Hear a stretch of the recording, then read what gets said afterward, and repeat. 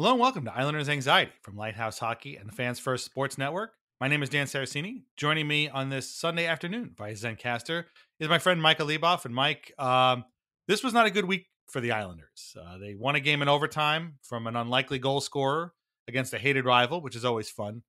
But that uh, momentary joy was buttressed by a couple more losses and a bunch of wins from people and teams around the Islanders and uh, it has made for a very depressing week and the realization that uh, we are most likely not looking at a playoff team. Uh, where are you at right now after this uh, one and two week uh, from the Islanders? Yeah, I'm uh, pretty despondent and um, bitter, confused. I guess are the three adjectives I would use. the worst the worst part about this season is it looks likely that it's heading towards a waste of time. Yeah. Right? Like and, and, and when you think of that when you think of that term, like waste of time, you think of oh, I just waited online at like a store and right. they were sold out of what I needed or I waited for a restaurant and mm.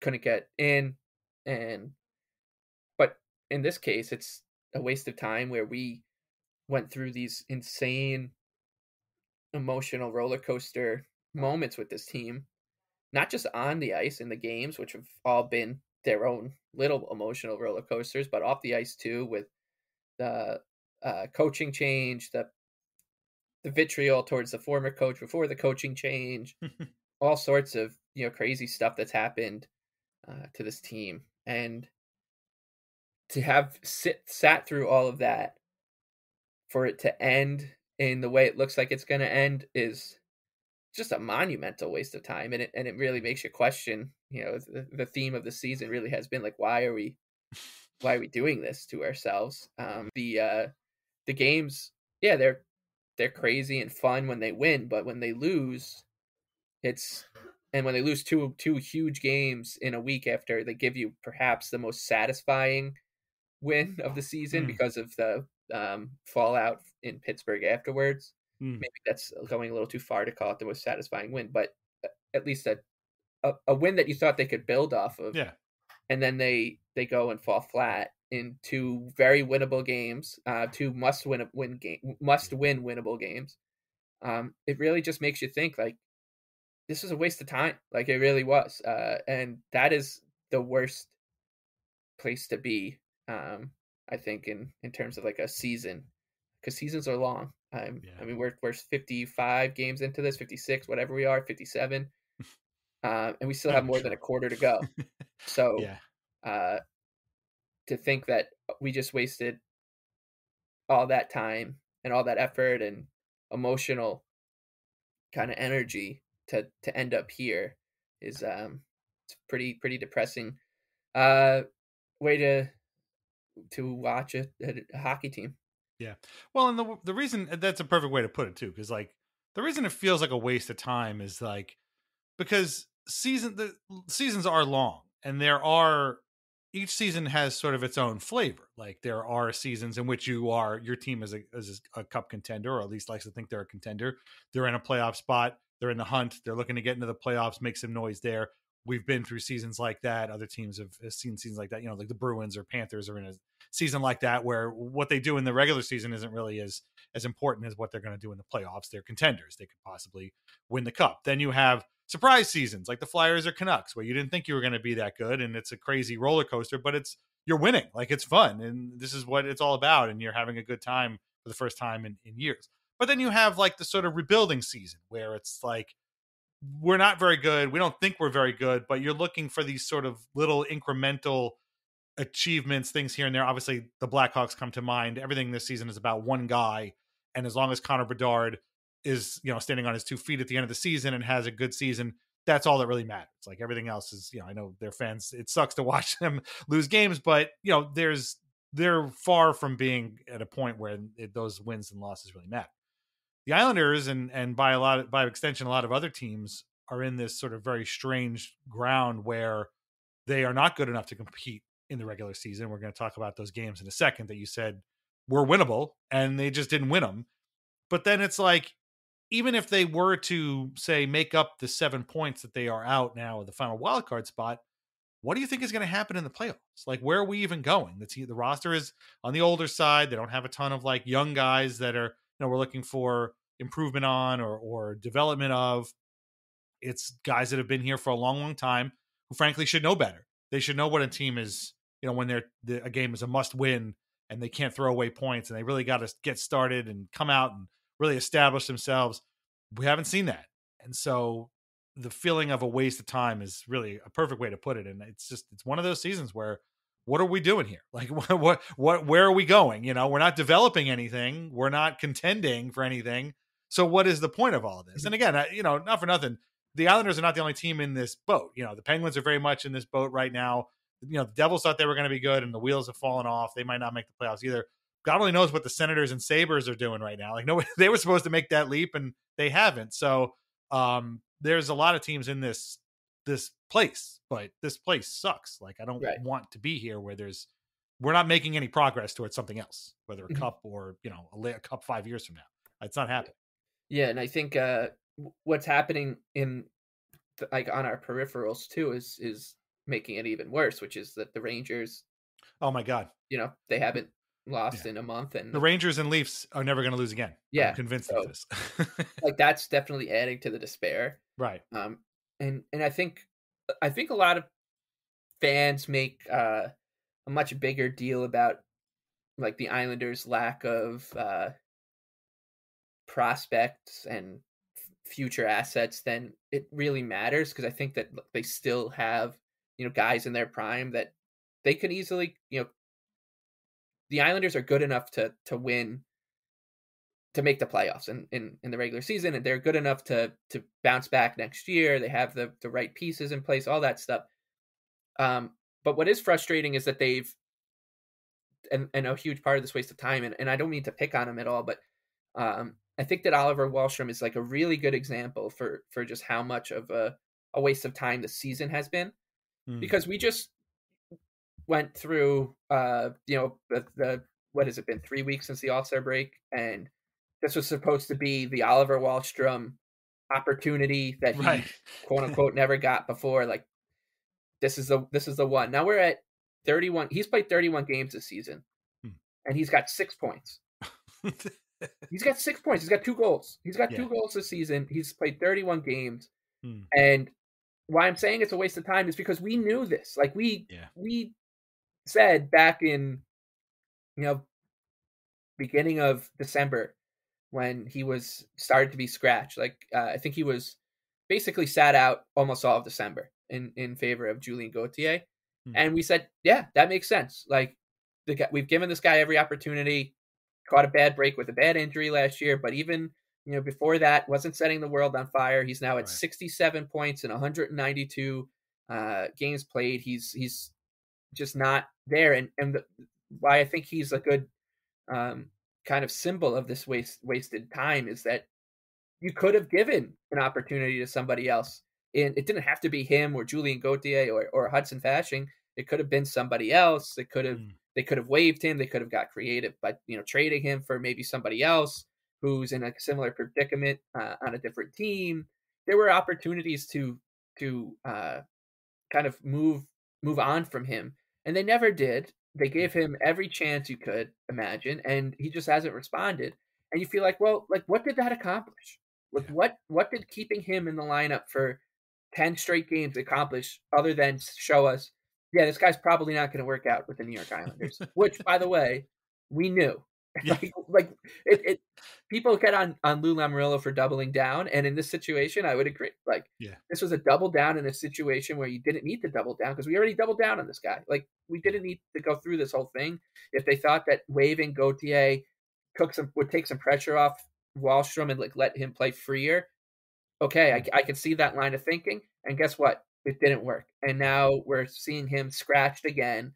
Where he's the extra skater at practice today, and I think that this is kind of where this entire season is is ending up. Like, Mm. it's what what did it accomplish? What what is anything in this season accomplishing? Uh, Yeah. you know, Noah Dobson has a great year. Great, like he's been awesome. It's been Mm. rest assu- like reassuring to see that he has a you know almost Norris Trophy ceiling in, in Sure. him. like he could be a Norris Trophy winner by the end of his career. That's great, but what we didn't do anything with that season. Matt, Bar- Yeah, we've we thought, okay, can Matt Barzal work with with Bo Horvat? Yep, he can. Yeah. Guess what? What did that? What did that work? What did Yeah. that like it accomplish? Because it it nothing. Like the answer is really nothing because they spent they wasted a lot of time in other parts of the the roster that just weren't working. And you know, before I I flip it back to you, like the other kind of microcosm for the season that really showed up this this week was yesterday against the Lightning. Um, you know, Matt, the Islanders are down to nothing. They they come out flat, and we'll get into that because it's unacceptable. But they come out flat, go into the locker room, come out, put together like three or four good shifts. And what happens to kill that momentum and give the Lightning a three nothing lead is Matt Martin takes a boarding penalty on his first shift of the second period, and you're like, this is this is this Right. this player like you don't you don't look at the uh Carolina Hurricanes and look at Jordan Martinook and be like that guy's costing them points like their their Mm. 12th forward or 13th forward is is costing them actually costing them actively costing them points. Matt Martin is costing the Islanders points which is insane for a player who who barely played in the game. He Mm. he crushed the Islanders yesterday in like 6 minutes whatever he played. He crushed them and he crushed the Islanders in in that game in Nashville and it stinks. And I and I got a, a DM from uh he goes by Mike Pelfrey's soup on on Twitter saying like the we were we we spent so much time so concerned about saying goodbye to these guys and how sad it would be to like watch Cal Clutterbuck or Casey Cizikas or Matt Martin or Josh Bailey or whoever playing in a different uniform. And now now we're looking at the this other kind of universe where we're like starting to get mad and be like, God, I just need this guy off my team, which is the last thing we ever wanted with Mm. these guys who are, you know, franchise icons for this Right. generation. It's it's and it's all their fault. Like it's not it's, it's no one else's fault but theirs. Right. Well, that that is the you have just touched on the the Dark Knight paradigm. You either Right. die a hero or you live long enough to see yourself become the villain. Like instead of Batman and Two Face, this is Matt Martin and Cal Clutterbuck and Casey Cizikas. Like, oh, by the way, uh, you are 100 percent right on Martin yesterday, but uh, for the record, he played four minutes and 30 seconds. Amazing. and Amazing. uh yeah but but that but that gets to the point you're making too about the waste of time like we love these these three guys right they have they have fought and bled and and played a huge role in this team over the last however you know five years whatever it is whatever you know the era you want to call it and even before barry trotz came in they were one of the highlights of the team what purpose does it serve playing these three guys in a season in which they can't win two games in a row they cannot make up any ground on any of the teams in front of them in the playoff chase. They do not look like a Stanley Cup contender. Again, they don't look like a developmental kind of situation. So what what is the purpose of giving them all of this rope when like wh- who are we playing these guys for? Like are we trying to trade them? Like and that's what I was going to say with Wahlstrom like if if this whole, you know, giving him this rope was in like kind of showcase him and show other teams, hey, listen, you know, this guy is a pretty good player, maybe you want to trade him that has not worked out either. Because if I was a GM of another team, I wouldn't want this guy. Yeah. I mean, I'm sending scouts and they're not seeing him do anything. Big waste of time. Yeah. And and there's this and I get like the loyalty to these guys and Absolutely, and absolutely. I and I understand why they're still here and all that, Right. but when you're eh, in desperation mode right now, like the Islanders are, there's Yeah. Matt Martin has spent good portions of his career sitting as a healthy scratch. Like this isn't a guy who who was really used to playing 82 out of 82. He didn't Mm. he didn't do that until uh Barry Trotz came along, really. Like he was barely playing in Toronto before he came back, and even Mm. before uh Trotz, like it wasn't like Matt Martin was just like in his name was in permanent marker in the lineup. it became a thing, it worked, and then it started to not work. And now it's like they're af- almost afraid of offending these guys. It, Yeah. It's very strange because it, it it shouldn't matter when you're there's nobody on this planet who knows how disappointing he's been over the, the this crucial stretch of season Hmm. uh, from basically the Christmas break on than Matt Martin. Like he knows that. Like he knows his job is to go out there, have nothing happen on the ice, really basically good or bad, and he's not doing that. And the fact that they haven't had a found a way to finagle him out of the lineup is Yeah. is very head scratching because right. when they went on that run, uh, he was hurt. Like it, I hate saying like it's not Matt Martin's fault that the Islanders no. are in this predicament, but they he was hurt and uh it was that the fourth line was like Fasching in there with uh Cizikas and Clutterbuck or wh- whoever, and um they they went on this little bit of a run because they just weren't they're not a, a team that can overcome mental mm-hmm. mistakes from guys who aren't bringing anything to the to the table. It's right. one thing if Matt Barzal turns a puck over at his at, at the Islanders blue line, because Matt Barzal is going to go out there in this next shift and he's probably going to do have a chance to make up for it. Right. Like if Matt Martin takes a, a boarding penalty or Cal Clutterbuck turns a puck over in the neutral zone and then has to take a penalty against the Avalanche, like they're not going to find a way to make up for those mistakes. so it's yeah. it's it must be frustrating to be and and they would never obviously admit it, but like the guys who are going well, like the Dobsons and the Barzals, Horvats. I th- I think Dobson. about that a lot because like, Bar- Barzal in particular is not a guy who seems shy about voicing his opinions yeah. about stuff, and I can't imagine what he's telling these people who are his friends and who are his brothers and who have played he's played with for a long time. But you can't tell me that he's looking at these penalty killers and being like, "What the fuck are you guys doing out right. there?" you know, like what is happening? I just I just spent a minute and a half in the offensive zone. Right. We changed and you came on and took a high sticking penalty and they scored on the power play. And like um, I got right. now I got to go out there and do it again. Like yeah. this, Bo, well, Bo Horvat takes a puck off the this bush and scores, and Anders Lee is offsides on it. Like yeah. I, I, these guys, it must be driving them insane because right. and, and Kyle Palmieri was weirdly the one who almost I don't think he meant it this way, but he alluded to it. He's like, there are like four, it can't be four or five guys playing mm-hmm. well. Like everybody has to be doing it, and that's uh, that's correct. Like and yeah. and the fact that the guys that are not not playing well are not playing well in such small sample size, and they're not playing. Their their level is so poor that it's even in those four minutes they're able to tank a game.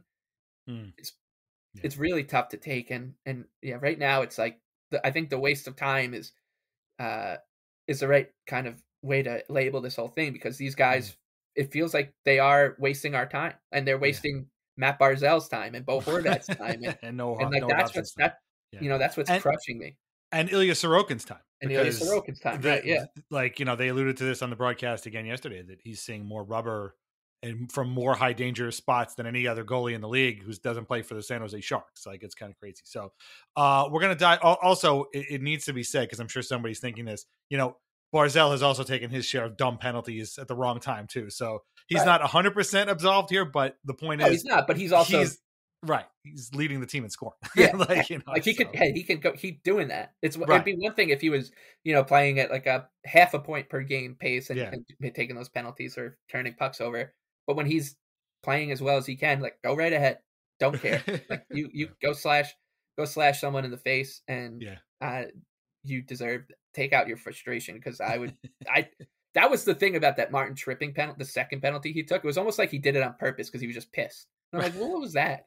Right. I was so mad about that. Yeah. I, I don't know. I well, I, this isn't a podcast about Matt Martin taking two penalties against the Lightning, but I, I think they were so emblematic of where this yeah. team is at right well, now. Well, and they're emblematic, yes, absolutely, but they're emblematic specifically of the mental mistakes that this team is making. Right. But let let's go through every game, uh, and we'll talk about this because this right now is a team that to me is, especially after that Lightning game yesterday, looks absolutely spent, both both physically and mentally. And we'll get into the because each of these games has evidence of that. Really, before we dive into this, that was a long intro, but before we dive into this, reminder that we are on Patreon, patreon.com slash islanders anxiety, ad-free episodes, bonus stuff and a whole lot more. Sign up today. Uh, also, don't forget about our live event, March 30th at the beautiful brand new Offside Tavern in New York City. Everything kicks off at four o'clock, so be there. Bring your weird Islanders swag because uh, we're going to be recording for a podcast. Okay, uh, let's go all the way back to Tuesday. Uh, obviously, this was the first game after the debacle at MetLife Stadium. It was a pretty tough couple of days. Uh, everybody's like, "Oh, what a great game that was! Outdoor games are back." And meanwhile, we're sitting there like, "Yeah, about that." Um, wasn't a lot of fun for us. so uh, again, if you were at that game, uh, my condolences. Uh, it was really bad, but uh, we made it through. Perfect opponent in a way uh, in, in, Pittsburgh, and for half the game, it looked great. They were up three one uh, in the second period after Holmstrom scored. Nelson had a beautiful sort of dipsy doodle goal before that. Barzal scored. He was in the in the box, of course, for a dumb penalty. They kill it. He comes out. He scores absolutely perfect play, and everything seems to be going great. They were even withstanding pressure in the early third period. Reilly scores, makes it 4 2. Oh, excuse me. Uh, Lars Eller had scored sort of late in the second. Uh, but, you know, 4 2, about halfway through the third, things seemed to look fine. But then this team just fell apart, as they have done many times, as they did on Sunday. They scored, they, they twice, the Penguins do. Some guy named Valtteri Puustinen has like four career points. Three of them are something against the Islanders. It's a little ridiculous. And then Drew O'Connor scores off of Anders Lee's skate, basically, into an open net. Uh, somehow they don't give up a goal at that point after that. But Adam Pelech, of all people, busts in over a change and just wires one home. I don't know where this kind of goal has been from Adam Pelech this entire time. Uh, I guess he waited for just the right time to use it. It was a fun moment in you know in the moment it was a great experience watching them beat the Penguins in overtime again with an, with an unlikely goal score. But then you think about it and you're like, that was their 18th blown third period lead of the year. Uh, Sorokin was good, but he had absolutely no help, and a couple of those goals went into literal empty nets. Um, they outshot the Penguins, but they the Penguins kind of controlled things for a better part of the end of the second and the third. Cizikas got hurt. He hurt his hand. Uh, he came back. Well, he got hurt. He came back. He hurt his hand. He left. he missed the next game against St. Louis, which we'll talk about. So, um, this was, you know, the two points were great, but they also gave up a point to a team that was, you know, right in the chase with them. Although the Penguins are, are doing their part to kind of slow that down. So again, momentary fun and, and smiles, but ultimately, uh, really bittersweet. I don't even know if that's even really the word. Like it's just it's more bitter to me than anything else. Uh, what did you make of this one? Uh, and like, why are we still watching this team blow these leads when we know what they're going to do? Like it's, I, I even said at the beginning after the second period, should I turn this off now or watch them blow it? And they blew it because yep. we all knew they were going to blow it. Yeah, what what's crazy here is like they they all after that game, you know, they they they go down early. They they I thought they responded really well. And was like, okay, if they could yeah. just if they could just play like this for the rest of the game, they're going to end up winning this game. But in all probability, like this, unless Nedeljkovic just is does what Jordan Binnington did to them a couple nights later. But um, they come out in that third period and just decided almost, yeah, let's mm. just get this thing to overtime. Right? Like it, it was, yeah. it, it looked like they were playing this weird passive style, almost reverted back to what we've seen from them all season. Um, you, would think they were playing the San Jose Sharks again with the way that mm. they, they came out in that third period. And uh, then they score what is the clinical definition of a back-breaking goal. Yeah. Like the Penguins owning the Islanders all throughout the first 10 minutes of that third period. They just can't get one by Sorokin. Islanders are bending but not breaking. They get one rush and they score on it from Mike Reilly. Right. A goal that he'd probably want your goalie to save. Uh, the, the crowd turns on them. People start leaving. 4 2, must win game for you. You just blew a, a third period lead uh, Sunday night in on Jagr night to the Kings and lost in regulation, and it's happening again. Like right. this is the if you couldn't find me a more perfect back breaking goal if you tried on this entire season. Mm. And the Islanders, that still wasn't good enough for them. Like you, you yeah. just scored a goal that took the wind out of a team's sails completely, and you just it wasn't good enough. Like that is that's what's crazy about this. It's not. I know that they won, ended up winning the game, but because of what happened after the games, like I've got nothing but good. I've got really like no good memories of this game anymore. Had the Islanders won, you know, or taken like three out of the next four points against uh, St. Louis and and Tampa, you know, this is a signature win, something that springboarded them. Now I'm like, this is just a blip, and it should have, and it's and it's more of a, uh, it was like another symptom of this crazy, rotting mental fortitude that this team has that they blew a lead to a team that they could have buried in the playoff race, at least for the time being, a rival, a team that beat them 7 nothing on their home ice mm. not too long ago.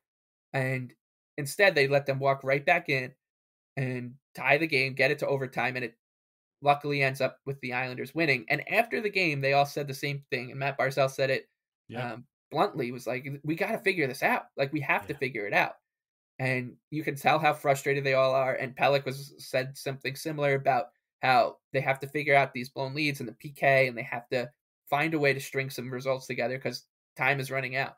Yeah. And running then out. Come on. yeah, I mean, running. like- Well, that's the thing. That's what's been that's been driving me driving me insane about these. Hmm. Uh, you know the way that they've looked at some of these loss and and and like the whole waste of time kind of theme here is like, what do you mean running out? Like right. Th- this isn't this isn't game twenty eight. This is you don't have that much runway left. Not Mm. we've we've all sat through these these games and watched them. Like you got to go. You got to go Mm. now. And uh and they don't obviously and and I'm thinking about like the next day I woke up and pe- pe- people were piling on the Penguins and Yeah. talking about how like that's it they're done. They're trading Jake Guentzel and the season's over for them. They got to Kyle Dubas has to figure out he has to unleash his plan. Mm. He has to scrap his his one Renaissance painting and begin a, a, new. a new- Apparently, both their goalies are available now, including Yep. Tristan Jarry, who genius Kyle Dubas signed to a five year extension last summer. Yep. And nobody's saying this. Like, why did we sign Tristan Jarry to this contract and are they're now trying making to trade available? Ryan Graves' contract. Like they, Right. they might just trade Jake Guentzel with Ryan Graves as like a here we'll give you rid of him. Jake Guentzel if you also Mm. take this contract that Kyle Dubas signed. But nobody's nobody's talking about that Right. one. Uh, We're all trying to find the guy who did this. and uh, but you know that, that next day it was so enjoyable. It was like I'm Mm. I'm thinking about myself that next uh morning. Like, oh man, the Islanders are they're still in it. They they win it the biggest game of the season. They they respond to that absolute clusterfuck against the Rangers with a win at least. Maybe like this was finally the the team is finally gonna go on their first run of the season, basically. And they just don't. Like they I I was so one of the one of the worst parts about the season was I was so sure that they were gonna win that game in St. Louis. Mm. And I don't know if I've been more off with my uh my Islander good feeling radar than this season. Where I'm like, I got a good feeling about this game. Hmm. Because every time I have a good feeling about a game, they lose. But every time, like I had a terrible feeling about the Tampa game, Hmm. because, mostly because it was like a matinee and they were wearing their, their pilgrim jerseys. But I had a terrible feeling, and, and whenever I have a terrible feeling about a game, they also lose. So it's like no matter how I feel about a game, it feels like the Islanders are just they're just gonna lose. And that that loss to St. Louis was Yeah. such a a slap in the face. I feel like to Mm. everybody, Yeah. and and I and I we'll get into it. So, Yeah. but I know what people think about how they played that game. But to me, it was like, come on, Yeah.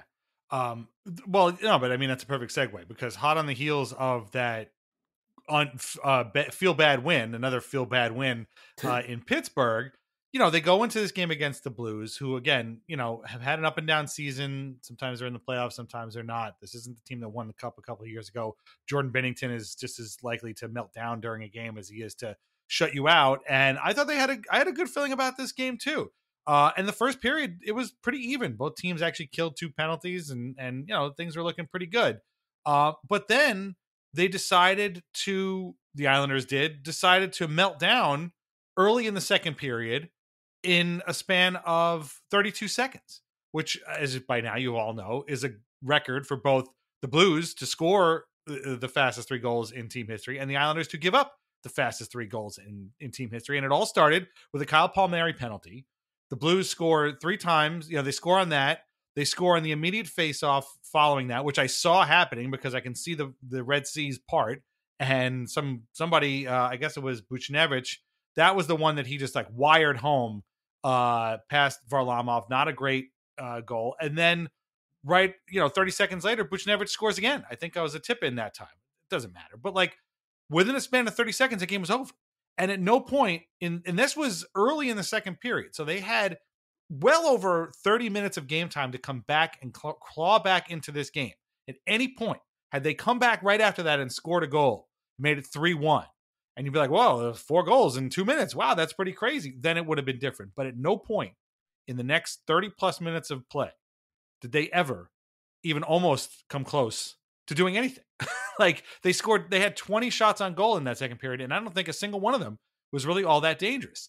Um, they ended up pulling Varlamov with 11 minutes to go, a signature move by Patrick Roy going back to his coaching days in the Avalanche. Uh, but of course, it doesn't go their way. Dobson has a chance. It rings off the post, and Buchnevich comes back and he scores an empty net goal and a hat trick. And it was like, just again, and again, one in the blink of an eye, the game was all all but it was just over. It was yeah. done. And I mean, frankly, they, again, it was over before that. But like, you thought, okay, they have 11 minutes. If they can get this game tied, which for some teams is not that hard to do, then they're they can you know maybe pull something out in overtime. But at no point were they ever even almost looking like they were going to do anything. Binnington was ex- excellent. For give him credit, he made 38 saves, some of them really spectacular, but uh, all the underlying numbers in the world aren't going to help you if you can't score goals. And have you ever seen a team shoot wide, shoot high, shoot off target more than this team has this season, particularly in the last couple of weeks? Like these guys, when even when they get good chances, we'll talk about them in the in the Tampa game, but like they had a ton of good chances in that game, and they all went wide. What are we doing? Like they're squeezing their sticks to the point of petrification. Like there's nothing left in these sticks once they're done shooting them because they know that it's going to go wrong. Like this is just a confidence problem. We'll talk about Patrick Roy's words in a minute, but like this game, I, am with you. I had a good feeling going into this Blues game. I thought this was the exact kind of like weird, random game that they could win and set things right. But man, once those three goals were scored, I was like, they're done. This is done. There's no way they're going to come back in this game. And guess what? They didn't. They lost four nothing. So, yep. And, yeah, and for the, for the season to end, because uh, that's that's how I felt in the moment. For the season to end in St. Louis in in a span of 32 seconds is just right. poetic for this the way the season's going. Like if you could have found a spot on the calendar where you thought the Islanders like this is the point of no return. Mm. That being it is is quite um mm. is quite bizarre and that fits with this team and uh, it's what's crazy is that this team like during Barry Trotz there's one image in my mind that that sticks out to to kind of sum up what this team is and or was and and why we love them so much and that was uh, against the Bruins in game 5 and I talk about this all the time Josh Bailey makes a mistake. Yes. The Bruins end up scoring on it, and ESPN immediately, or whoever had the, the television rights at the time, they they immediately flash to Bailey on the bench, and he just has this look in his face like they shrugged. The team already shrugged it off. Like they. I was just thinking about this this morning. I'm glad you're really. I'm really glad you're bringing this up. And it's it's a a perfect encapsulation of of why that team overachieved because hmm. here's a player who was derided for so long in his career for for being soft and just not living up to expectations and you would think that kind of player would have crumpled in that moment but instead they didn't and he ends up being phenomenal for not just the rest of that series but you know in, into the to the lightning series too like that that line was fantastic Beauvillier nelson and bailey and um after the islanders gave up that first goal to the to the blues i could have stopped that game and went down the line and interviewed every Islanders player and been like, you know, are you guys going to come back in this game and you know whatever? And the I think the general party line would be like, yeah, we we've caught some bad breaks. Like if Palmieri's puck goes in, you know, this is a different game. Like, well, it's not. It didn't go in.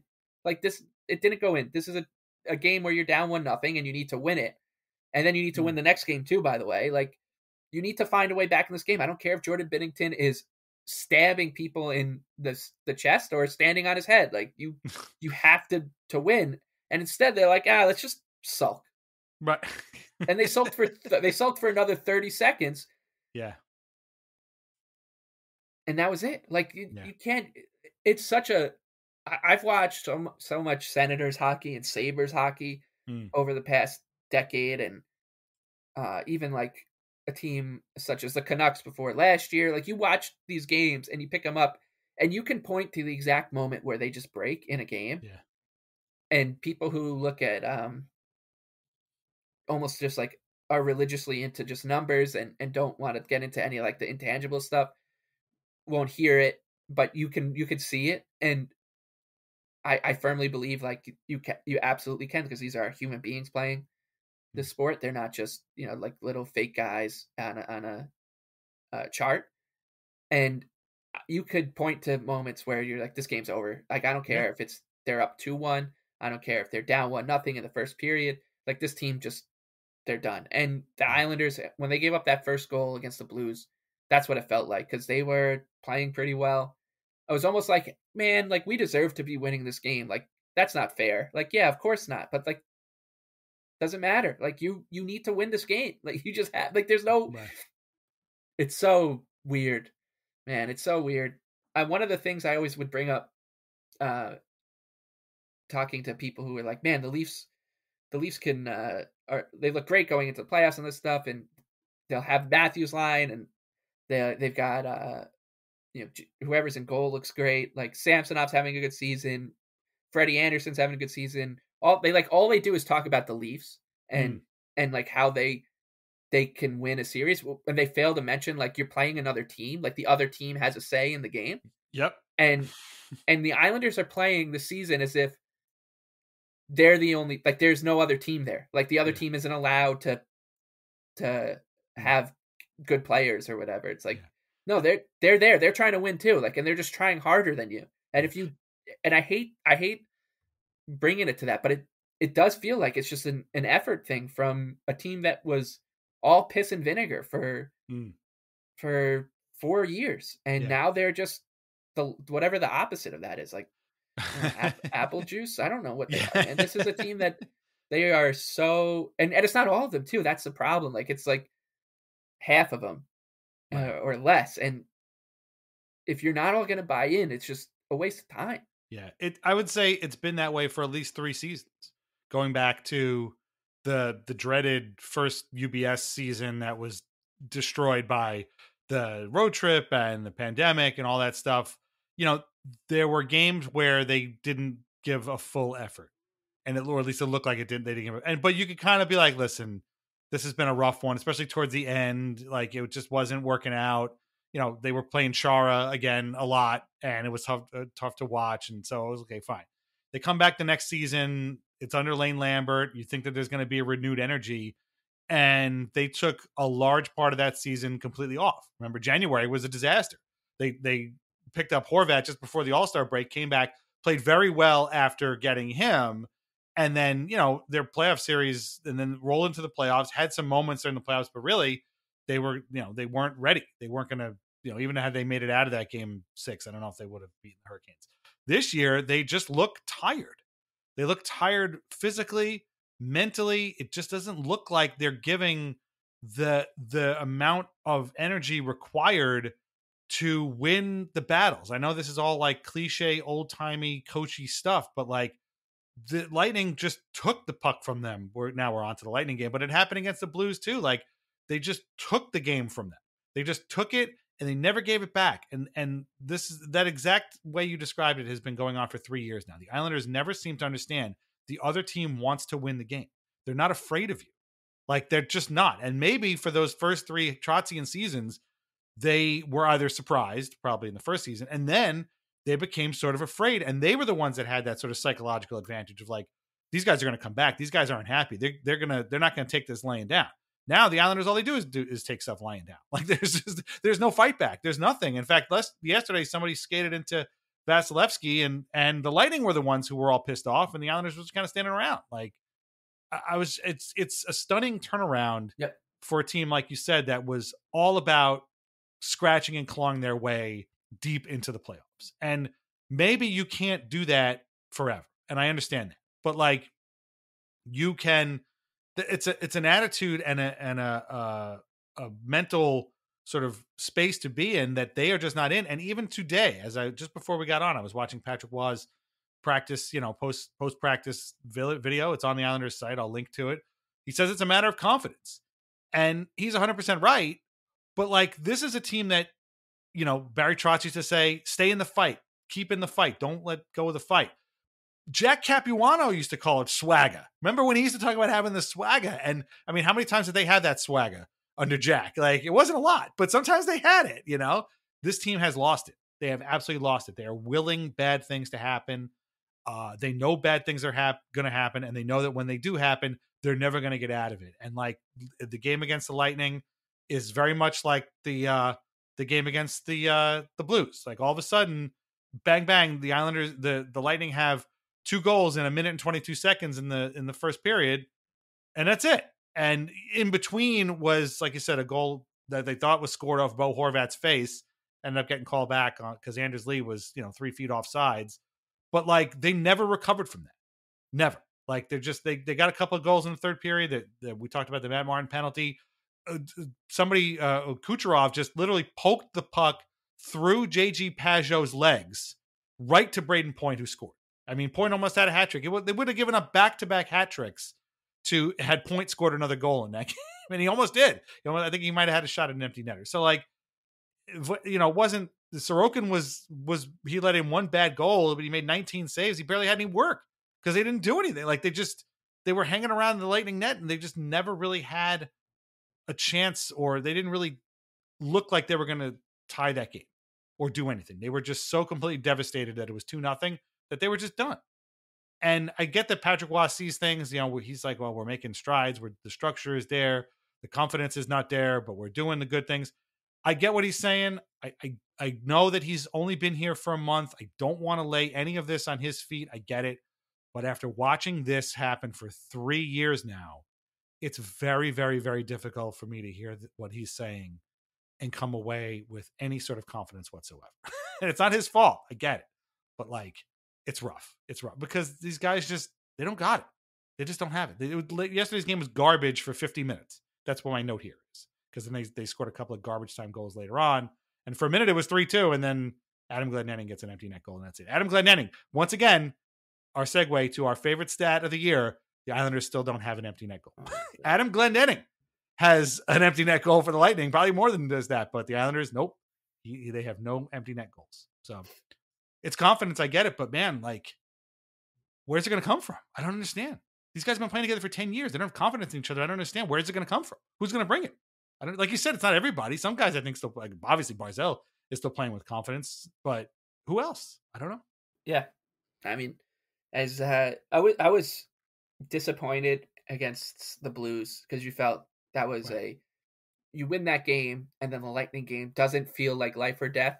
Right. At the very least, like it, it's still a massive game, but uh, you, you're still in the fight to to to, to use your Trotzian you know, mm.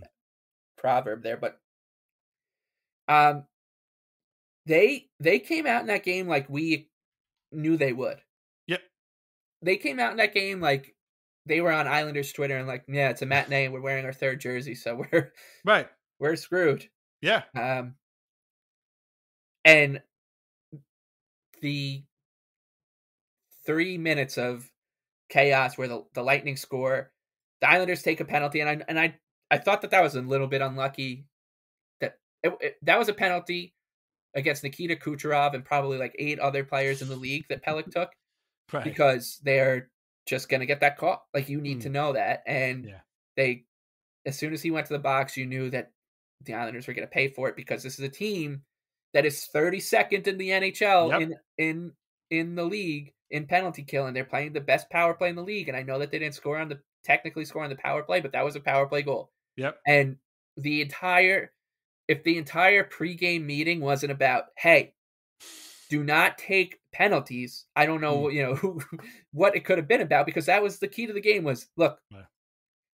the only way this team's going to beat us is if we give them opportunities to on the power play. They're mm. that's it. And that's how the the Lightning won. Like they won because that penalty and then and then Matt Martin's penalty uh, in, in the next period. Like the Islanders gifted them two goals. They get really gifted them three because the the, the second one, the one in between the, mm. the two power play goals, or technically power play goals, where um what was just a sulk another sulk goal where the mm. Islanders mm. had they gave up a goal, they responded, but you know Anders Lee was offside and forgot mm. how to skate for a minute there, and uh the uh they just felt bad for themselves for like 15 seconds and it was enough. Like that's enough for for Brayden Point. You think Brayden Point is gonna not realize like, oh man, this team is right. they just took two punches into the into the gut in the first four minutes of a matinee. Uh, mm. and they're wearing those terrible jerseys, and where here's our opportunity to just stomp on their throat. And that's what the these teams that have won Stanley Cups and are good do. And wow. they did that, and that was it. And then the Islanders looked feeble for like the rest of that first period. It was terrible. They get booed off the ice in mm. the hmm. first. They get booed off the ice in the second. And there was a pushback, sure, in the last six minutes, but that pushback came from Bo Horvat, Matt Barzal, Brock Nelson, Noah Dobson, and like Mike Reilly. Yeah.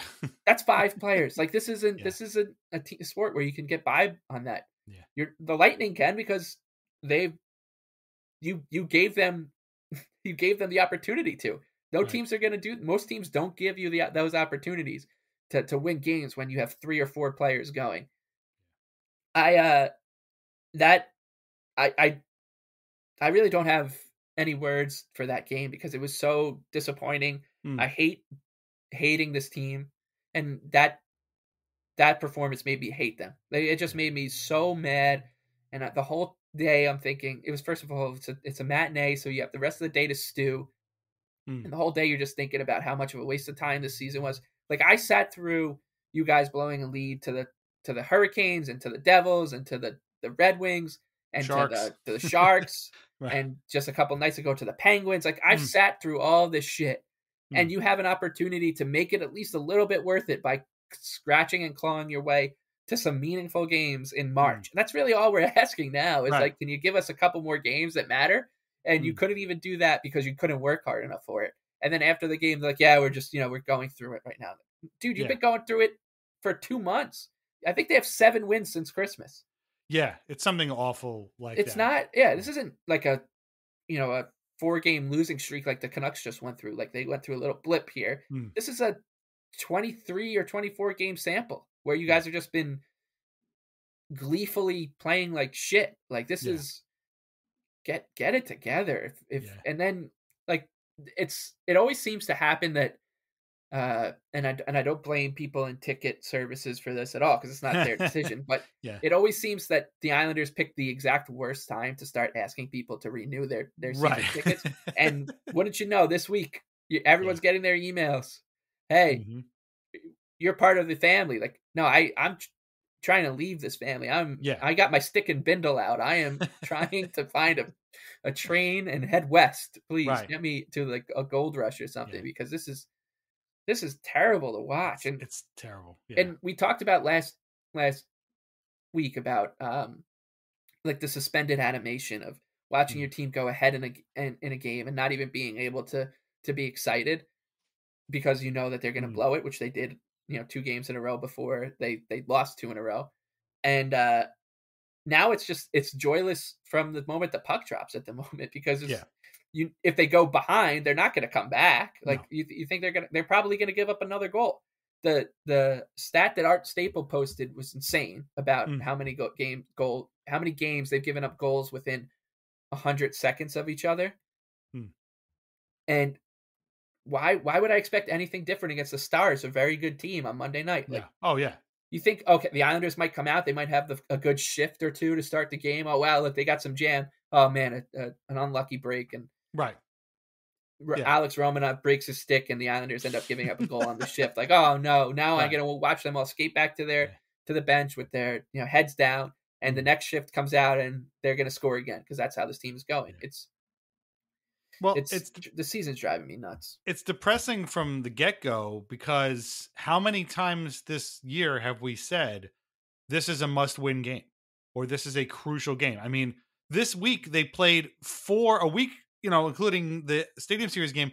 They played four must win, actually five. Let's throw in the Seattle game. Who cares? That was five must win games that they lost. they won. Sorry, they won one in overtime and gave a point to one of the teams that that's in the chase with them. So like you just lost and I they also have to lead the league in well, you know, they're down, but here's a power play. So if they get one here, this is a big a moment for them. And they never do. They their their power play, which was once actually pretty darn good, is like I think four for 35 now or something like that in the last bunch. So every single time Butch or Brendan says, Well, you got to get one here, that's a guarantee they're not gonna get one because they just aren't. And again, it's it's a confidence issue. I get it. But like again, look at the Lightning. Like this is not the team that won back-to-back Stanley Cups. This isn't even a team that that lost in the Cup final in 2015 to the Blackhawks. This is a a different team. Yes, they still have Stamkos, Kucherov, and Hedman, and Vasilevskiy and Point. They have a bunch of really really good players. But have you seen the bottom six? Who the hell is Mikey? What the hell was his name? Eyssimont? Who is this person? I don't know. They're like making guys up. Who Yeah, are the these people? too? Like the Calvin de Haan, I feel like was playing Right. 20 minutes last night. who, who who is Nick Perbix? Nick Perbix is a real person. That's not like an EA Sports made up name. He's he's the guy who's but they come out with all the confidence in the world that they can win these games, and it shows. And they look like a team that is very confident, even if they're not where they want to be in the standings, even if they're not their roster isn't what it used to be. You know, just a couple of years ago, they come out and they win games. And the, the Islanders right now, they're not winning games. And if we're going to talk about the next games coming up on the other side of the break in a second here, but like this is a team that I know management doesn't want to rebuild. I don't want to rebuild because I hate that term because it's just a free pass to suck for 10 years or more and I just don't want to do it. But the reality is that this team needs probably half of an entire new roster. And even then, who knows what what the attitude is going to be because to me these guys they're all signed long term. They're all making a ton of dough. They're all very ha- happy and content living on Long Island. Who wouldn't if you have that much money? And I'm getting the the distinct impression that they do not care if they come to work, get booed for a couple of hours, and then just go home. Like that's that's the impression I'm getting. And I get that you know, oh, we had a great practice. These guys here really they care a lot. I'm not seeing it. I'm just I frankly am just not seeing it. So you know, if they want us to think something else, they better change how they're playing. And even if they did, I think I still think their this season is done. They, will miss the playoffs by like a point because it's too late. It's absolutely too late. Uh, final thought before we we head off into our break here.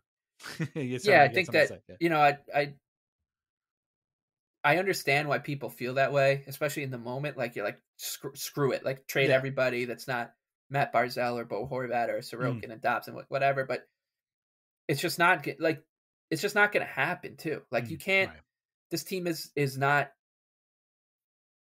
it's not like almost physically possible for them to do that because they mm-hmm. have so many people signed to next contracts next year.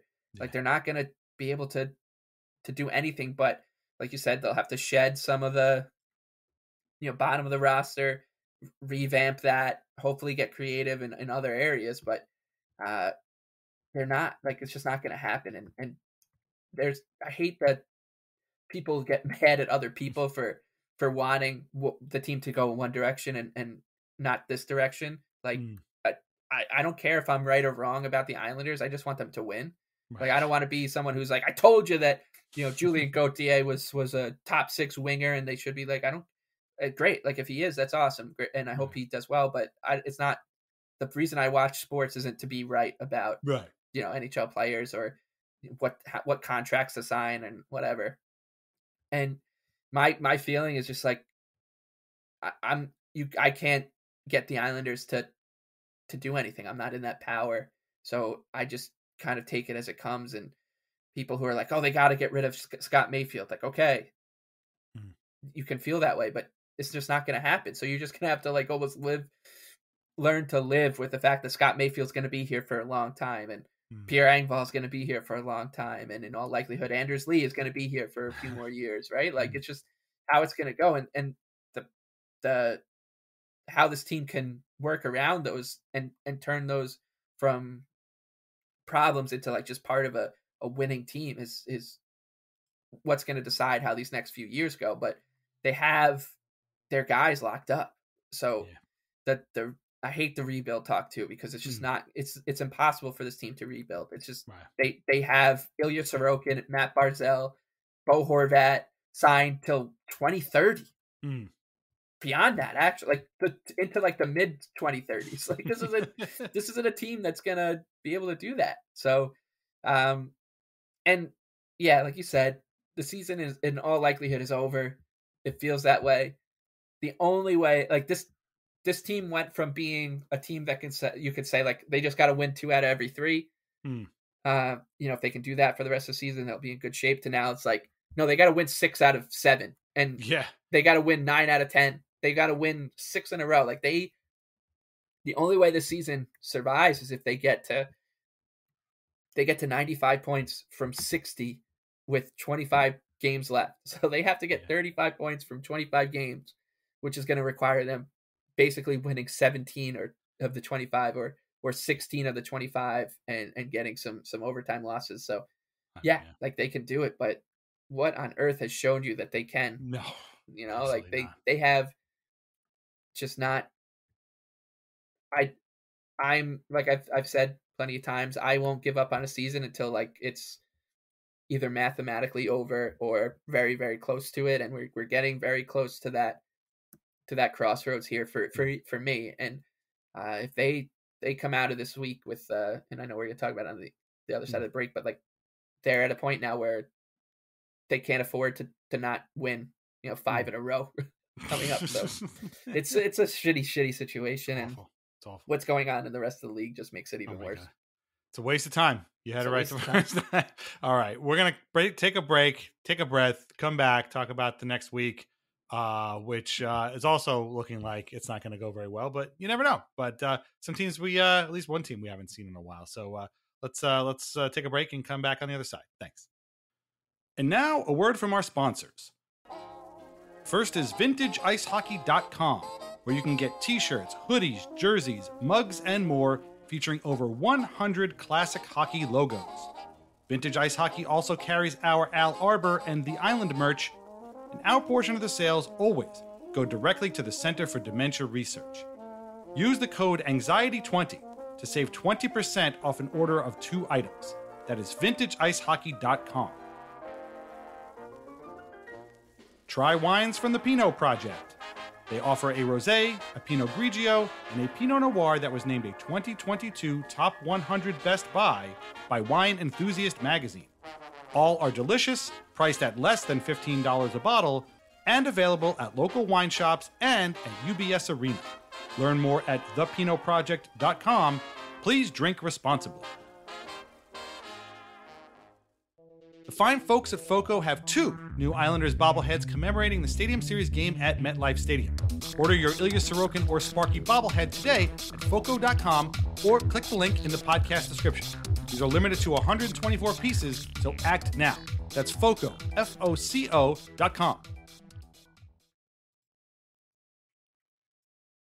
Okay, so the Islanders have three games this week. Uh, Monday night, uh, it is they are in Dallas versus the Stars. So the day you're listening to this, that's an 8 p.m. start. Uh, then Thursday they are in Detroit, which is a 7 p.m. start, and then on Saturday they are home to the Boston Bruins at 7:30, and then they get a couple of nights off before they play again. Um, I can't see how they win any of these games. I just I just can't. The Stars are too good. They've been good all season.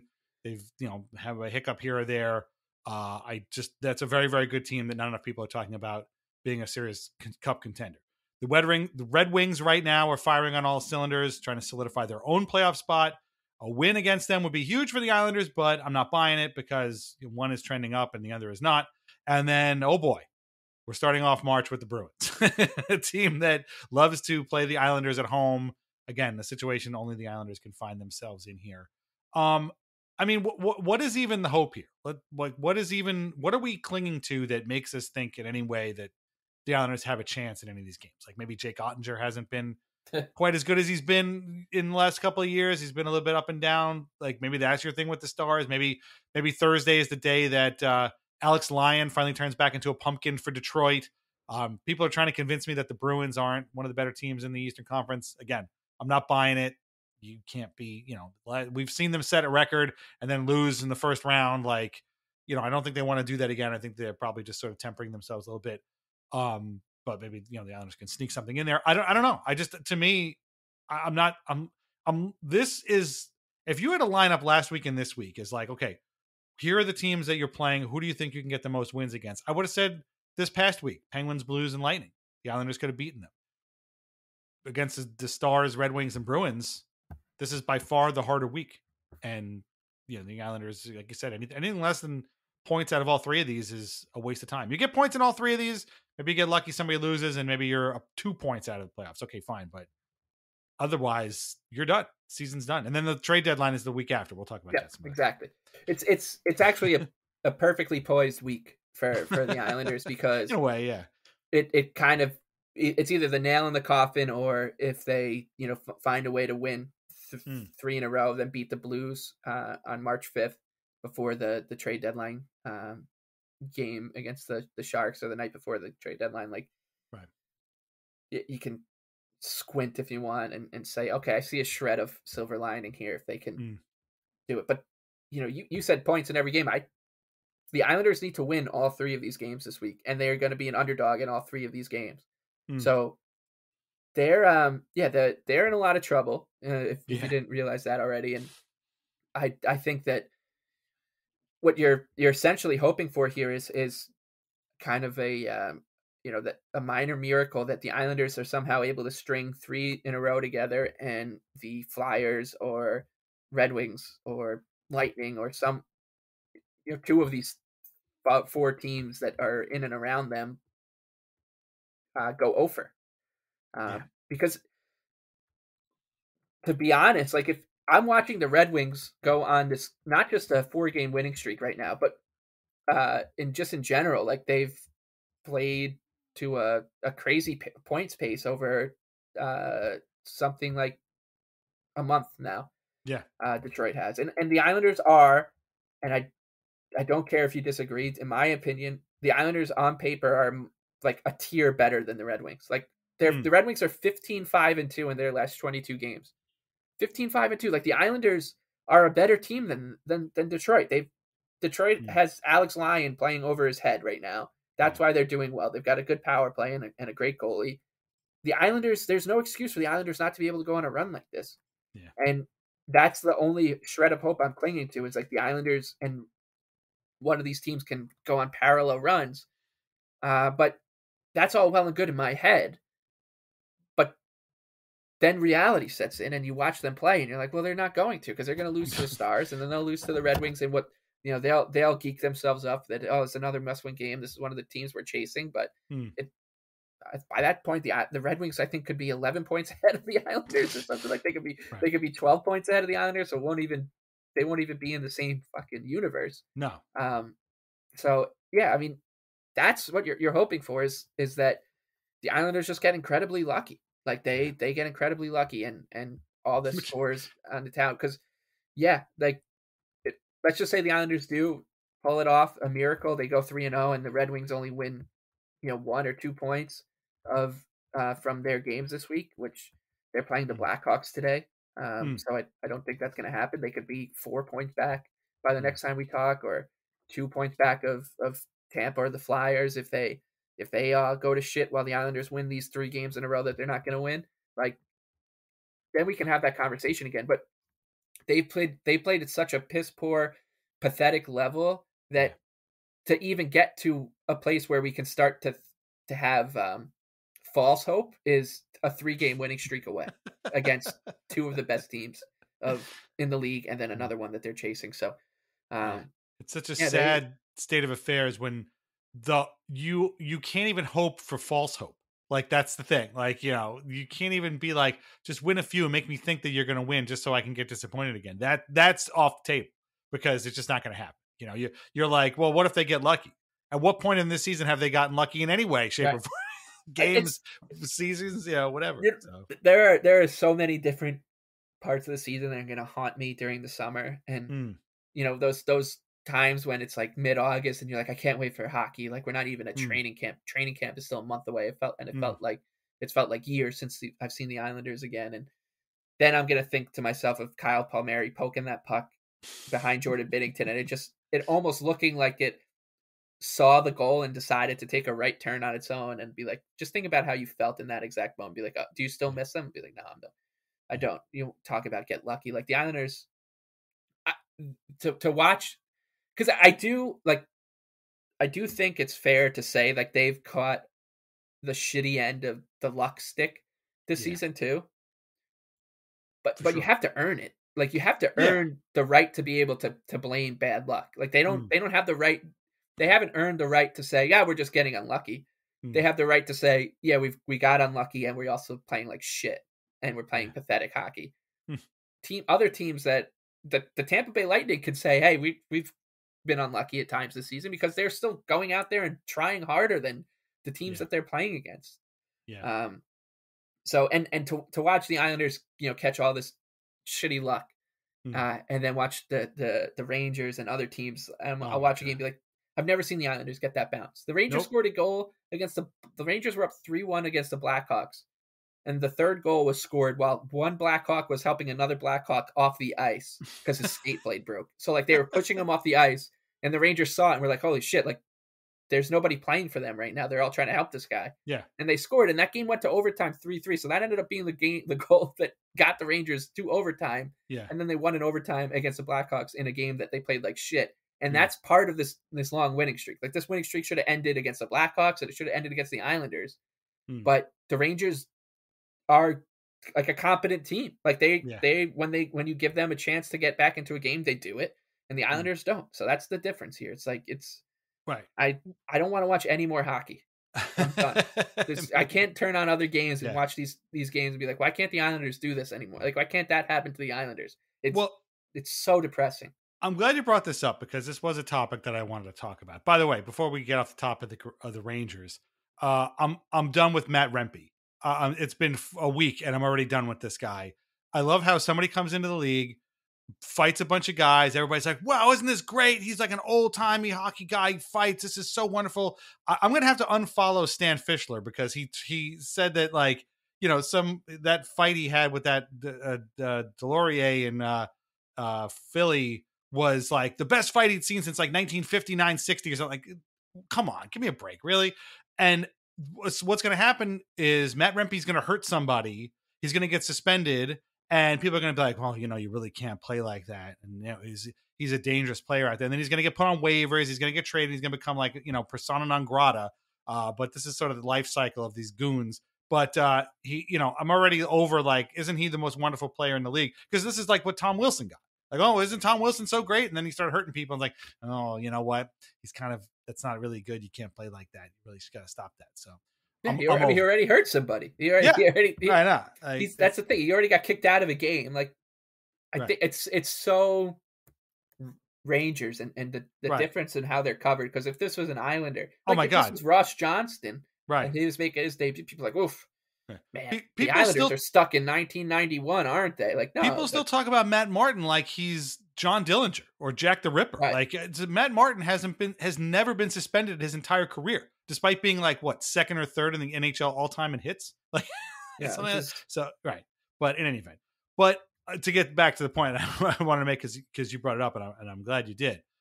Like, part of me gets mad because you're right; they don't make their own luck, and they get into these modes where they give up two goals or three goals in a short period of time, and they can't fight their way back. A lot of that has to do with confidence. A lot of that has to do with, I guess, being old. I don't understand, but the thing was like we've talked about this team kind of living around the margins. They don't have an Artemi Panarin. They don't have uh, you know, a guy who forget about Auston Matthews, but like another guy who can like break the game open and score a goal when they need to. They don't have like a Jack Hughes or a Nico Hischier. Like they don't have these type or you know, one of these other again, not a David Pastrnak, but like you know, Brad Marchand or something like that that can or David Krejci that can come in and, and break the game over. Matthew Tkachuk. I'm naming like some all-time great players, but like they don't have that guy. But they managed to make it deep not long ago by winning by committee. And the thing is, what makes me mad is that they have tried to add that guy. They got we we were like, oh, you know would be great for the Islanders? Kyle Palmieri. They went out and they got Kyle Palmieri. You know would be great for the Islanders? JG Pageau. They went out and got JG Pageau. I was in my basement playing rock band when I got a text from you guys saying that they acquired Bo friggin' Horvat, who was on a 40 goal pace. I was like, holy shit, they got Bo Horvat. That's perfect. That's the exact kind of guy they need to, to goose their offense and play with Barzal. They have tried to go out and get these guys, and with the exception of Horvat, these guys all just stop scoring goals. Like Palmieri has 15 goals right now, and I think his his career high with the Islanders was 16. So he's like, you know, two goals from passing his career high with this team. Meanwhile, when he was with the Devils, his first year there, he scored 30 goals. Second year, 26 goals. Then 24, then 27, then 25. That's not our our Kyle Palmieri is a different guy. And I get that people like him. He's been he's been great in the playoffs. He's been good since Roy got here. A 25 goal Kyle Palmieri or a 30 goal Palmieri is a lot different than a 16 goal Kyle Palmieri.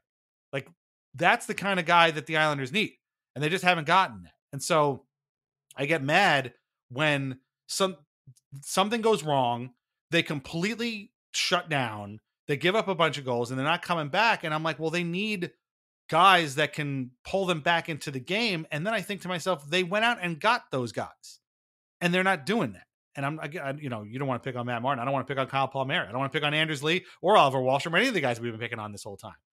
But like, there's something that happens when these guys don't accomplish or don't live up or produce the way we expect them to produce. And that's how you get situations like this where one bad goal leads to weeks of losing.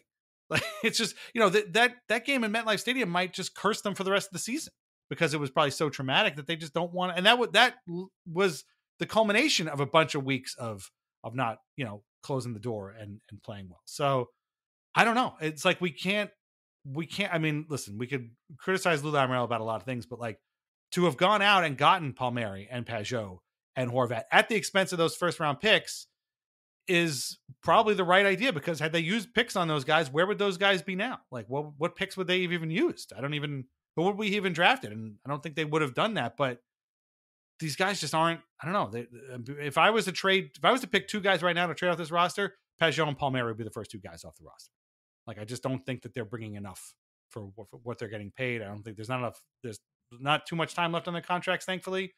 But to me, I just I don't know, man. I, I feel like I, I'm I'm speaking sort of hypocritically, I guess, but like they went out and got these guys to score goals and pull them back into these games, and you know, three years later now, they just aren't doing that.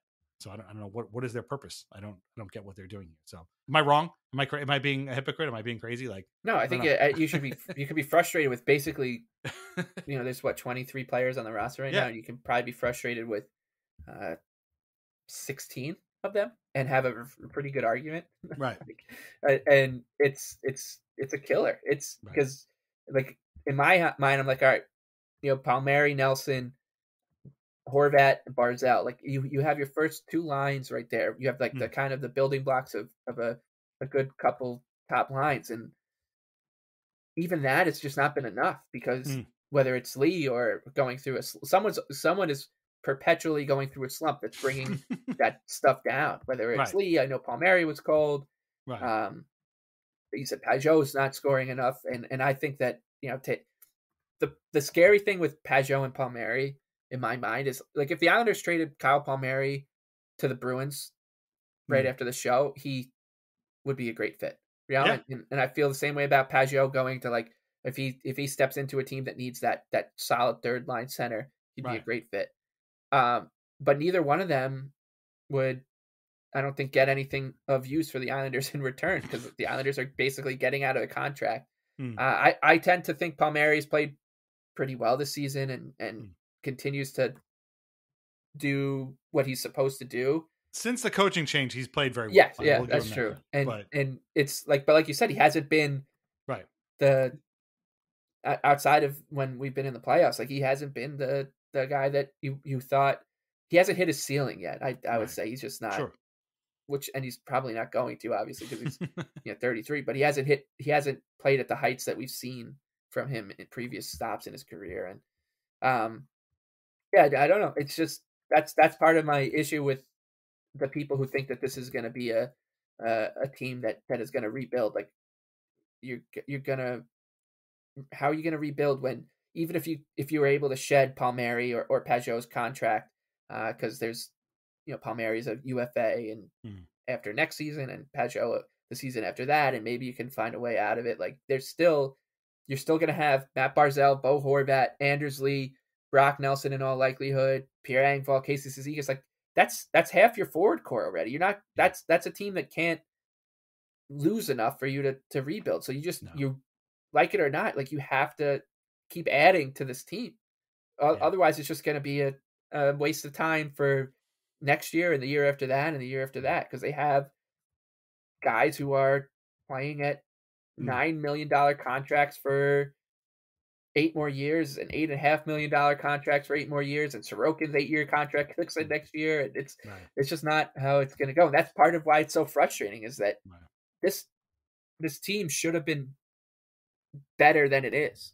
Yeah. And and you can point to the to the blown leads, you can point to the fact that they're rarely behind in games, you can point to mm. all sorts of things that show you that, but it's also just look at the roster. Like look at how this team is constructed. It was constructed to be a good team with a lot of veteran players on their third contracts and in their in like the prime of their career and they just weren't able Yeah. to do it. So they just wasted a year of everybody's prime. They wasted really good seasons from Yeah. Barzal and Nelson and Horvat and Dobson and they Hmm. just they wasted it all. Like there's no guarantee that next year Matt Barzal is going to stay healthy or Right. or be as good as he was. There's no guarantee that Noah Dobson plays at this level again next year. Right. There's no guarantee that Alex Romanov continues to progress like he has.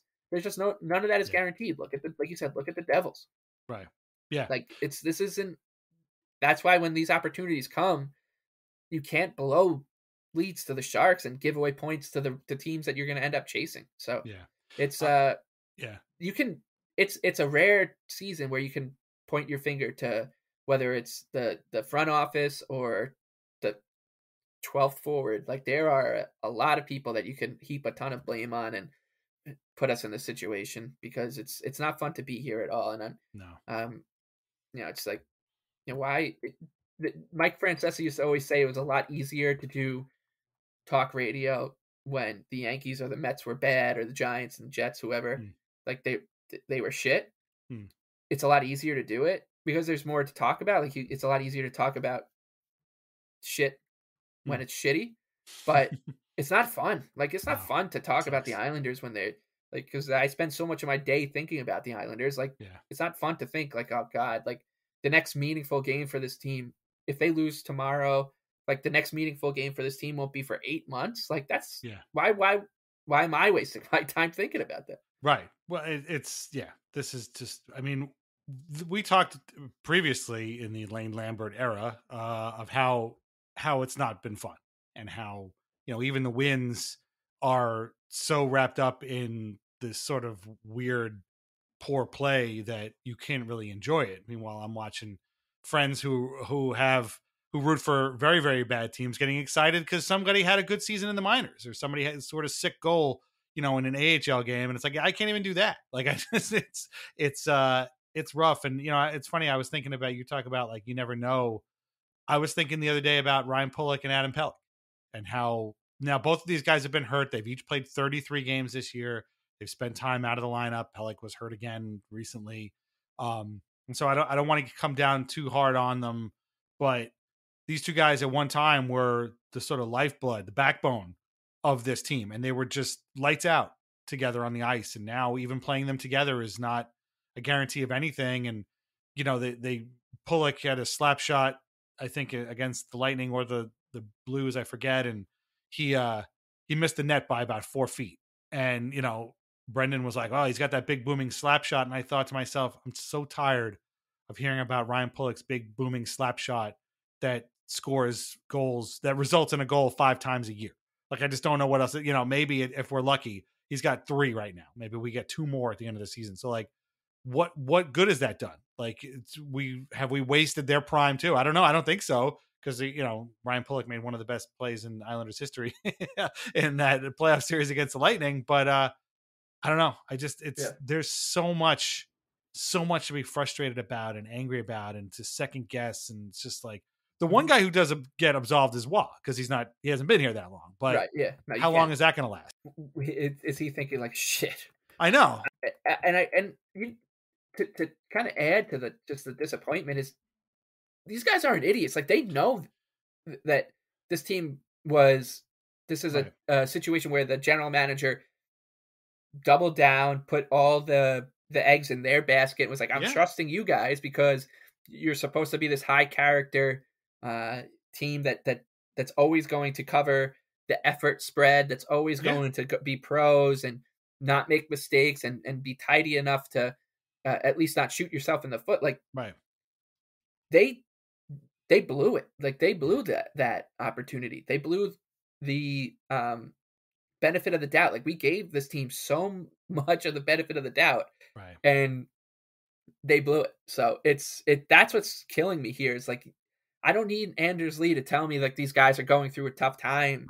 Like you're running out, man. You're 33. You're running out. Right. Your career is is on the downside of the mountain. Brock Nelson's going to be 33 next year. Like this these you're running out of opportunities to Yeah. to win. Like how is that not driving you nuts that you're uh, a player who's got three more years left on his contract, and who knows Mm. if you're going to play beyond that. Like, Yeah. and and you're you're watching your team give away one. You you're on actively on the team. I shouldn't say watching your team. We're Mm. watching you guys do it. You're playing on a team that's actively giving away and wasting one of your last seasons. Like, what? Yeah. How is that not driving you guys nuts to the point where you're Right. you're going like you're not coming out back after a game and saying, yeah, you know, like just we got a good point tonight and yeah. uh yeah, we really st- I'm I'm proud of the group sticking with it. Like no you you should be like we are like Matt Barzal is after every game lately. Mm. Like I don't know what's going on. This is But- unacceptable. The Right. Bruins blew a two I hate doing this cuz uh, we it's stuff we make fun of, but the Bruins blew a two goal lead against the Canucks the other night in the third period. Uh, and I was on uh, I saw Fluto Shinzawa tweeted out his story, and the Mm. headline for the story was "That's it's unacceptable." Mm. To and like that's probably the first time the Bruins have done that all season. Right. The Canucks gave up four goals to the Wild, right, and lost seven to four or something like that. Like 10, yeah, 10 7 and yeah 10 they were, seven, yeah. and and they're like- and that was it, their first three game losing streak of the Yeah. season and and they're all like this has got to be stopped right. like the islanders are like yeah but we got it to overtime we blew a two goal lead for the after blowing a two goal lead to to the rangers the other night in front of the national television Hmm. everybody's like talking about our rival as if they're like the the coolest thing you guys were you guys were the antagonist in that in a story where you're the underdog you were found a way to become the antagonist right. and make the the the favorite, the rich, glitzy capitalist team the favorite, the protagonist in this story. Hmm. And it instead of being like, yeah, unacceptable, can't believe we did that, I'm embarrassed. It was, eh, we just gotta pick ourselves up and get back to it. Like, Yeah. enough of that, please. yeah, no, enough I- of it. Just go win five games in a row, and then we can start talking about adversity and Yeah. and bad luck. Well, again, and, and you know, I don't know. Maybe it's me. Maybe I'm just like too stuck in 2019, 2020, and 2021. Because correct me if I'm wrong, but it used to be that way. like it used to be like that's Yeah. we can't do this anymore. We can't we can't play like this anymore. And that th- those days are over. Like you're right. I mean, they're just they when they came out. I mean, this is two games the but between the Blues game and the Lightning game. They came out in both of those games and just didn't really seem it, they were playing as if they had a 20 point cushion in the playoffs Right. as opposed to being down by seven points you know the blues Right. won maybe it's a little bit more even but that matinee game that is a definition of unacceptable that is a team directly ahead of you a loss here puts you seven points back of them and they just went out and lost like just just like it was nothing they just roll Yeah. out of bed and lost the game without Yeah. without trying I mean, I mean, they, they that game they beat the Lightning in that six two win, right? yeah And let, let, let's let's talk about since then how many efforts were unacceptable for one reason or another. Right. They, they lost to the Flames in, a, in another matinee. Yeah. Putrid effort, unacceptable. absolutely So you think, okay, we're going to have a response. You're supposed to have a response to an effort like that. Come out against the Kraken. Unacceptable. like completely unacceptable. And that's the game afterwards where, where Lee was like, well, I'm happy we got to overtime in Hmm. the game. Right. So you expect, okay, they're going to come out, Hmm. good effort, bunch of days off, Yeah. stadium series M- game. maybe they're thinking about the stadium series all right Yeah. fine first game against the Rangers in, in over a Yep. year. You know they're going to be have, come out with their tails on fire. They do. Then Hmm. they blow a lead with two goal lead with four minutes left. Unacceptable. yep They beat the Penguins. Hmm. Isn't that great? Two points against the Penguins. That's always like they blew a two two goal lead in a third period again Yeah. after doing it on national TV against the Rangers after two unacceptable losses. Hmm. I'm gonna jot that one down as unacceptable. Right. Even in a win. Uh, let, let- how about we'll give them half credit? We'll say it's concerning. Maybe Concerning, not unacceptable, but okay, it's okay. concerning. So we're we're at three unacceptable losses Right. and a concerning win Yep. uh over their last over those four games. Okay. Right. I think that's a building block win. Hey, Mm. at least you got the two points. You're still alive in the playoff race. Got a couple big ones coming up to keep you know to, to pad, uh, to keep clawing and stay with the, the Lightning and the, the Flyers and the Devils and the Red Wings. And you're playing a beatable St. Louis Blues team that has its own issues. Yeah, Mm. you're on the road, but you should win this game. They lose four nothing. Yep. Unacceptable. Totally unacceptable. Even if you, you you outshot them 38 to 25 or whatever the hell it ended up being, yeah, gave up three Mm. goals in 32 seconds because you felt bad for yourself. in a must-win game. Hmm. Unacceptable. So then you think, all right,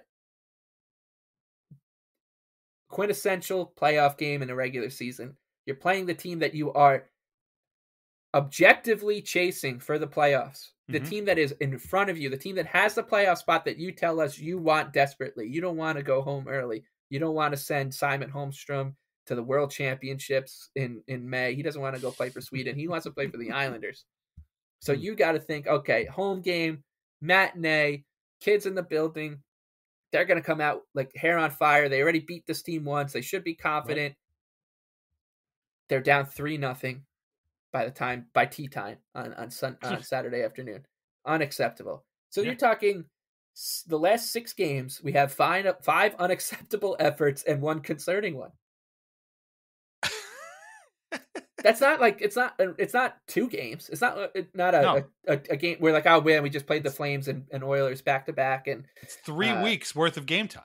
yeah. Three weeks, six games. right right we haven't seen a, an acceptable effort since February eighth. Like the And- Lightning game where they won six two felt like it it, it they they act like it was two days ago. Yeah. It was it was February eighth. Yeah. They've won. They've had two, and, and you know what? To their credit, pretty good effort against the Maple Leafs the game before that. say, yeah. So so since the All Star break, we'll we'll extend this to the All Star break. We'll say two good games, five unacceptable efforts, and one concerning win. Yeah. Like come on, who- Right. And and you're the you're a team that is supposed to just always be able to bounce back. Oh, and by the Mm. way, we can we can extend this if you want to, to New Year's Day, and I can we can go about uh, we can Uh, you count even yeah. more unacceptable efforts like the one against the the Blackhawks or the Jets or the Wild or the I- Predators. I was gonna and- say if you go two weeks before the All Star break, I count. Uh, let's see, one, two, three, four, five, six unacceptable losses. Well, one was that Vegas loss where they played well. right. So five unacceptable losses and a win that you got lucky, like that that overtime win against Dallas. You got lucky. So that's even if so five. So that's ten unacceptable losses, one concerning win, one one you know unfortunate loss basically, and a lucky win. Like and and then one quality, you know, two quality wins between Right. the Leafs and Lightning games for early February. it's That's talk about it- an it- unsustainable it's oh, pace. it sounds funny to break it down like this because it sounds so simple and rudimentary. Right. Well, yeah, the unacceptable thing is a very cliche Yeah, sports thing, but it's there's a reason for that. Like, right. It makes sense. It makes sense Right. when you look at it because guess what? You can keep going back. You Mm. want to go all the way back to Christmas, and you can count like six more unacceptable efforts, like the seven no seven nil loss to the Penguins, oh my and god. then oh god, don't worry guys, you got them four days later. You have an opportunity to get it right, get them right back. Three one Yep. loss. Yeah. The game that they blew in Colorado where they were up. The no show in Vegas. right, no the, show then the no show right after that, coming home against the Canucks. Yeah, Like, we're it's like the Islanders have played prob what uh, thir- twenty four games since Christmas, since that, Mm. which was by the way that the game before Christmas was a, a concerning win against the Hurricanes in which they they gave up a goal with like two seconds left. Yeah. Um, so they played they played yeah twenty four games since Christmas, and I would say that we're we're probably what at like sixteen unacceptable efforts of twenty four. Include and by the you know what's crazy? We haven't even mentioned Hmm. there was a coaching change in here. Like right. you're supposed Yeah. to respond to that. Nope. The So one since the- team that in the NHL that doesn't get the, the dead coach bounce is the Islanders. Yeah. Waste of time. Yeah. I can't put it better than that. I mean, it's not it's not one unacceptable performance. It's literally two months of unacceptable losses. Yeah. that we have just accepted because and we the have no only choice. way to make up for it is like you guys uh, we're not asking it's like not you you'd think that asking for an eight game winning streak is too much. Like that's too much to ask out of a team. Hmm.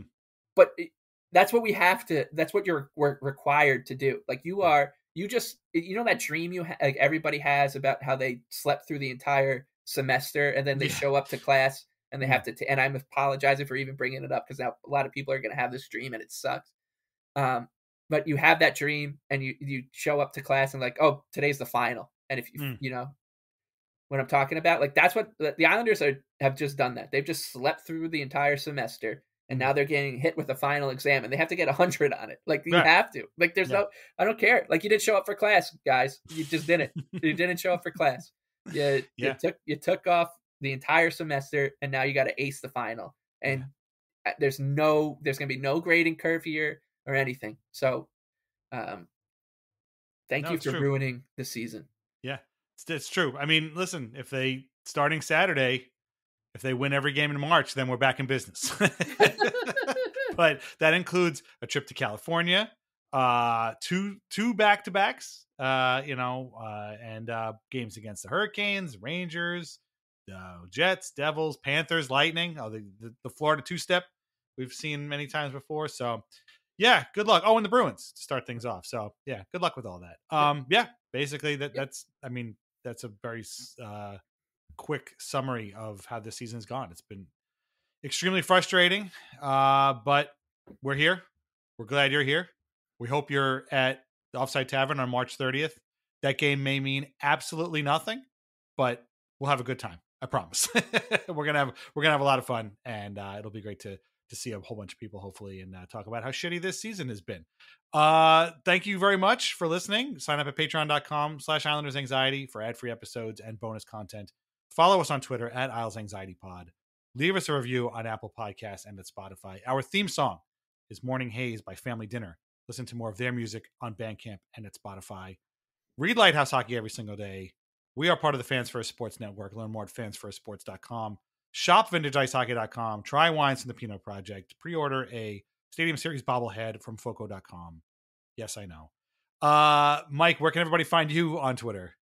The Big Lebowski with two E's. Follow Mike at the Big Lebowski. Read and listen to his work at Action Network, where he gets to follow other better teams and tell you all about them and how you can win some money. Uh, I mean, we've emptied the tank so far here. You, you can't accuse us of uh, right, mailing it in. Like, it's not like the fan base has just been through hell. Like they've been right. through hell, and and it's gonna end up being for naught unless they yeah. win. You know, they unless they go 15, 5, and two like the Red Wings have over their next their next twenty two games. Yeah. Good luck. And they're not going to do that. So, like, yeah, this this team of of, of has of a very this team of likable people has mm-hmm. turned mm-hmm. so unlikable so yeah. quickly, and it's so sad because uh, they have been, you know, it's been fantastic to watch them at times. Uh, just not this season at all. It's true. It's true. Uh, but you know, we do our best to uh, make this as as much fun as we possibly can.